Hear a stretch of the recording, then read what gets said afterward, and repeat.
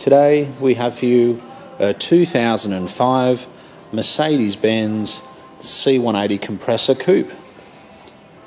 It's Cubanite in colour, it's just very lovely grey with black leather interior. This car has got a lot of options for one of these. To name a couple, it's got leather seats as I mentioned earlier. I've actually never seen one with memory electric driver's seat. This is the update. So it's got the much newer steering wheel. It's got the newer cluster behind the steering wheel there. It really is a very nice car indeed. So with the electric seat, you can just pull that forward if you need to put people in the back. It comes forward, so it actually comes forward manually. So with some of the CLKs, when you put the seat forward, manually up here. It used to go forwards and backwards electrically, and they're a bit fiddly. This is much more sensible. So they're a four seater. They're very reliable. This car has done 102,000 kilometres. It's got two remote keys.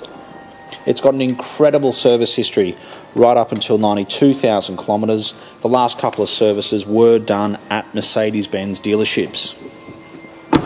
The car is in amazing condition for its kilometres. Like, look at the alloy wheels, they're not scratched or anything like that. It's got factory fitted front and rear parking sensors. That was quite an expensive option. A lot of people bought them without parking sensors and just put the aftermarket $200 sensors on them, which aren't very reliable and generally, after a few years, stop working altogether. There's your spare wheel in the back there. This is a very good example of a C180 coupe. Now it's obviously a car which has been loved and looked after. Now looking down the side, it's it's gun barrel straight. It's absolutely lovely. Let's have a quick look at the logbooks.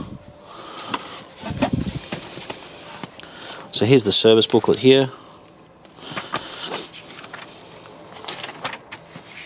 So the last service was at Mercedes, then I went to a specialist, and then at Mercedes. So most of the history is actually at a Mercedes Benz dealer, which is fantastic. It's got the very reliable five speed Tiptronic automatic transmission.